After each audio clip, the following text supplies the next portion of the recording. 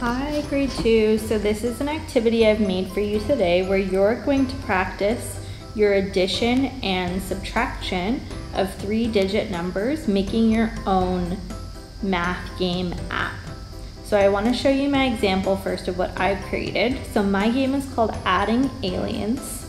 When I press this button, it starts my game.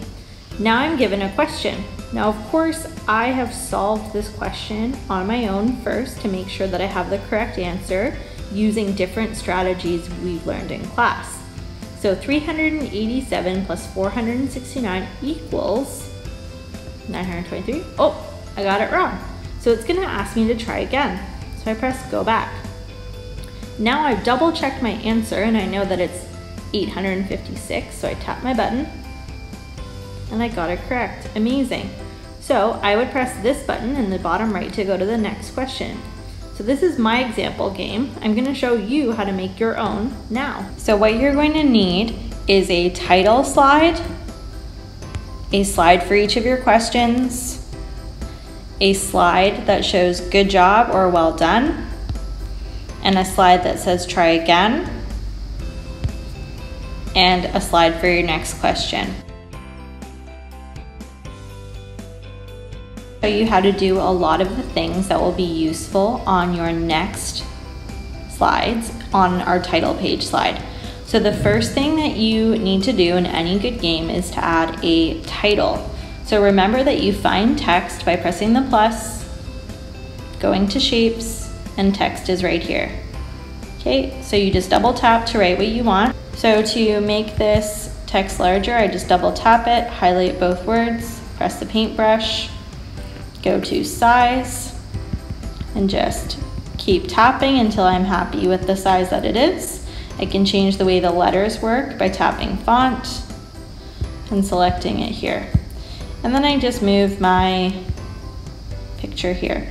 Now the other things that I've added here are keynote shapes and I'm going to show you how to add a keynote shape and change the color of it. So I'm going to press the plus again, press shapes, I'm going to search for alien and I can bring him in here like this. Okay, and then I just tap him, use the paintbrush, style, fill, gradient, green, and green. I'm also going to add a border and make that four points. So you can see here I've added the alien's face. The last skill that you're gonna need to know how to do is to add a button. So I'm gonna do that by pressing shapes again. I'm gonna choose this rounded button. Okay, I'm gonna make it about this size, move it in the center. If I double tap, I can write in it.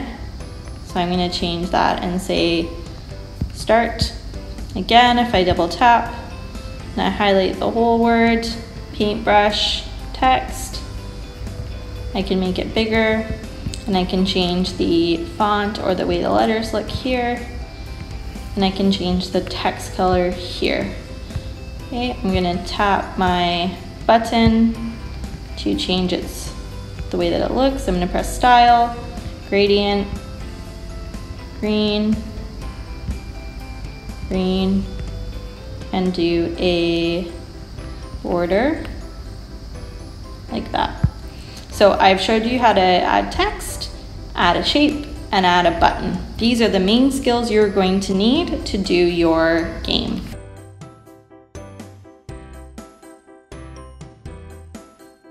So on your next slide, you're gonna wanna make your first question. So you're gonna need four buttons on this page and you're going to need to have a button for your question, which is right here. Then you're going to have to have a button for the correct answer, which is right here and two buttons for the incorrect answers.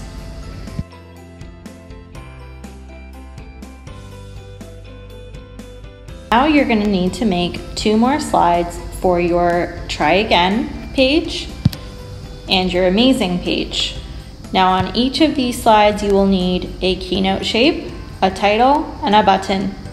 I'm going to show you something cool that you can do to add more animations to your game.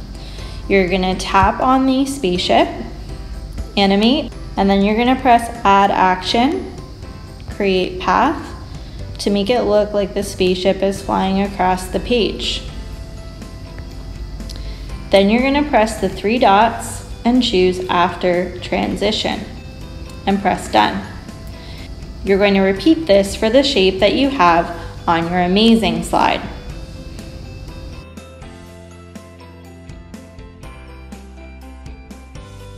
Going to do is to turn all of your buttons into active buttons so that they will work for your game. So you do that by tapping the button, press link, and you need to tell the button where you want it to go. So on my start button, I want it to go to slide two because that's my first question. If I go to my next page, if I tap 856, which is the correct answer, I press link, I want that to go to my amazing slide which is slide four. You need to repeat this process for all of your buttons to tell them which page that button should take them to. Once you finish that, you press the three dots, you go to settings, presentation type, links only.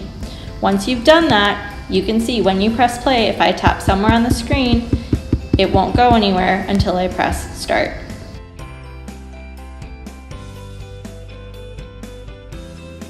Know the basics, you're ready to repeat this for the rest of your questions. So for each new question slide, remember that you need a try again slide and an amazing slide and to link them all together. I can't wait to see your finished games and I hope you have fun playing them with your families.